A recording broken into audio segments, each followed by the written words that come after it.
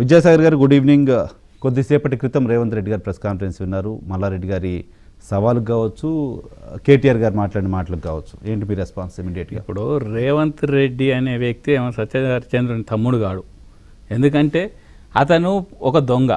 నిజంగా కూడా మొదటి నుంచి కూడా జైల్లో ఎందుకుండి వచ్చిండు నేను స్వాతంత్ర ఉద్యమం గురించి ఉండి రాలేదు కదా? అతను జైల్లో ఉండొచ్చిన విధానం దేని గురించి ఉండొచ్చిండో ముందు చెప్పమనండి.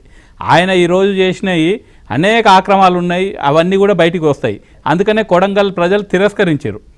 ఈ రకంగా మాట్లాడితే రేపు పొద్దున ఇంకో దగ్గర కూడా తిరస్కరిస్తారు. ముఖ్యంగా ఆయన చెప్పాల్సింది ఏంటంటే వాళ్ళ పార్టీ నాయకులే కోమటిరెడ్డి వెంకటరెడ్డి గారు రాజగోపాల్ రెడ్డి గారు మాట్లాడారు వంద కోట్ల రూపాయలు ఇచ్చి చంద్రబాబు నాయుడు గారిని ఉపయోగించి అధ్యక్ష పదవి తెచ్చుకుంటా అని చెప్పేసి. దానికి సమాధానం చెప్పమనండి. వంద కోట్ల రూపాయలు ఎక్కడికి వెళ్ళి వచ్చినాయి? నువ్వు స్క్రీన్ ప్రింటింగ్ చేసే వ్యక్తివి. నువ్వు ఈ రోజు ఇన్ని వందల కోట్ల రూపాయలకు వేల కోట్ల రూపాయలకు ఈరోజు తెలంగాణలో ఇన్ని రకాల మీటింగులు పెడుతూ డబ్బులు వెదజల్లుతున్నవే ఎక్కడి నుంచి వచ్చినాయి? నీ ఆ- నీకు ఆస్తులు ఉన్నాయా? నీకు మీ ఆ, ఊరికి వెళ్ళి సరే, చూద్దాము.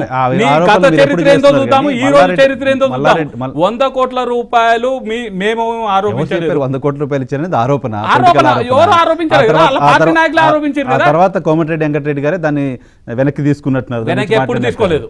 వెనక్కి ఎప్పుడు తీసుకోలేదు? కోట్ల రూపాయలు ఎక్కడ ఇచ్చిన ప్రూవ్ అయితే ఆ డబ్బులు ఎక్కడి నుంచి వచ్చినాయని అడుగుదాం కానీ ఇప్పుడు రేవంత్ రెడ్డి గారు యాభై లక్షల రూపాయలు దొంగగా పట్టుబడ్డప్పుడు దాని గురించి ఏం మాట్లాడిండు? ఎక్కడికి వెళ్ళి తెచ్చిండు ఇది కాదు. రేవంత్ రెడ్డి సత్య హరిచంద్రుని తమ్ముడో కొడుకో కాడు. నిత్యం అబద్ధాల పుట్ట రేవంత్ రెడ్డి కడుపు. సో ఇప్పుడు రేవంత్ రెడ్డి గారు చేసిన ఆరోపణలని ఏ ఆరోపణ చేసినా కానీ రేవంత్ రెడ్డి స్వలాభం గురించే తప్ప బ్లాక్ మెయిల్ చేయడానికి మల్లారెడ్డికి సంబంధించిన భూముల అక్రమాలపైన కొన్ని డాక్యుమెంట్స్ ఇమీడియట్ రిలీజ్ చేశారు ఆయన. అవన్నీ కూడా అబద్ధాలు అని చెప్పి టీఆర్ఎస్ పార్టీ చెప్తారు అబద్ధాలే. అబద్ధాలుగా ఎట్టి పరిస్థితుల్లో అబద్ధాల కోరు రేవంత్ రెడ్డి. ముఖ్యంగా గత చరిత్ర తీసుకున్న రేవంత్ రెడ్డికి సొంతంగా ఏదో మల్లారెడ్డి గారితో మొదటి నుంచి కూడా అంతకుముందుకు తెలుగుదేశం పార్టీలో ఉన్నప్పుడు మల్కాజ్గిరి సీటు కావాలన్నప్పటి నుంచి అదే పంచాయతీ పెట్టుకొని ఈ రోజు నిరాధారణమైన ఆరోపణలు చేస్తాడు. అంటే మొన్న మీటింగ్ పెట్టి నీ ఇష్టం ఉన్నట్టు మల్లారెడ్డి గారిని తిట్టవచ్చు మల్లారెడ్డి గారు తిడితే తప్ప ఇప్పుడు ఏం మాట్లాడిండు? మల్లారెడ్డి గారిని ఏజ్ గారిని గౌరవించిండా? ఒక మంత్రిగా గౌరవించిండా? చింతలపల్లిలో మల్లారెడ్డి గారి పైన కొన్ని ఆరోపణలు రేవంత్ రెడ్డి చేశారు. ఆ ఆరోపణలకి సమాధానం చెప్పలేదు. మల్లారెడ్డి గారు ఏదో సవాలు పొలిటికల్ సవాల్ చేశారు. ఆయన పైన బూతులు దాడి చేశారు. సరే అది ఓకే. ఇప్పుడు మళ్ళీ కొన్ని ఆరోపణలు ఆయన చేస్తున్నారు. ఆరోపణలు కాదు. ఈ రోజు నిజంగా కూడా మల్లారెడ్డి గారు చేసిన దానికి సీతమా రేవంత్ రెడ్డిని అడగండి.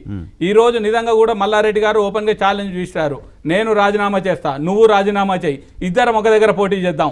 నేను ఓడిపోతే. ముక్కు నెలకు రాస్తా దానికి కూడా అన్నాడు answer ఇది రాయడానికి రేవంత్ రెడ్డి సిద్ధమా? దానికి కూడా ఆన్సర్ చెప్పారు కదా. ఆల్రెడీ ఓడించాను మల్లారెడ్డి అల్లుడిని మల్కాజ్గిరిలో. ఇప్పుడు సెమీఫైనల్ కొడంగల్లో ఓడిపోయిన ఈడికొచ్చి నువ్వు కొడంగల్లో నిన్ను కూడా ఓడించారు కదా? నువ్వు ఆడ ముక్కు నెలకు రాసిరా ముందు?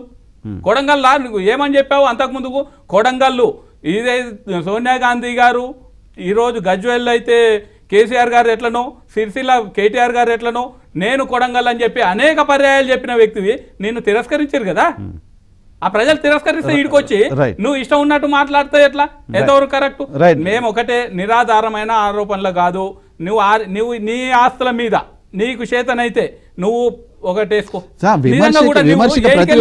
విమర్శ రాజకీయపరమైన విమర్శలు వేరు విద్యాసాగర్. గారు స్పెసిఫిక్గా కొన్ని ఆధారాలు ఆయన మీడియా ముందు పెడుతున్నప్పుడు వాటిపైన కనీసం ప్రభుత్వం వైపు నుంచి స్పందన ఉండాల్సిన అవసరం లేదా? రాజకీయపరమైన ఇప్పుడు- విమర్శలకి రాజకీయపరంగా సమాధానాలు చెప్తారు ఓకే. ఆ, ఈ రోజు అతను కోర్టులో కూడా వేసిన అన్నాడు కదా? అది కోర్టులు చెప్తాయి దీనిపైన కోర్టులో వేసిన చెప్పాలి ఆ, రేపు ఆధారాలు ఏమున్నాయి ఏమున్నాయో ప్రభుత్వానికి ఇస్తే ప్రభుత్వం చూస్తుంది. దాని మీద నిరాధారణమైననే చెప్తున్నాం. ఎందుకంటే రేవంత్ రెడ్డి అనేది అబద్ధాల కోరు పెద్ద దొంగ కాబట్టి ఈ రకమైన ఆరోపణలు చేస్తాడు. అతని మాటలు నమ్మాల్సిన అవసరం లేదు. ఫోర్జరీ కూడా చేస్తాడు అవసరమైతే. పేపర్లు ఫోర్జరీ చేసి అయినా సరే మాట్లాడే శక్తి ఉన్న నాయకుడు ఆ కాంగ్రెస్ పార్టీ నాయకుడు. అందుకనే సొంత పార్టీ వాళ్ళు కూడా చెప్పి- చెప్పిన తర్వాత అతను వంద కోట్ల రూపాయలు ఎడికెళ్ళి తెచ్చిండు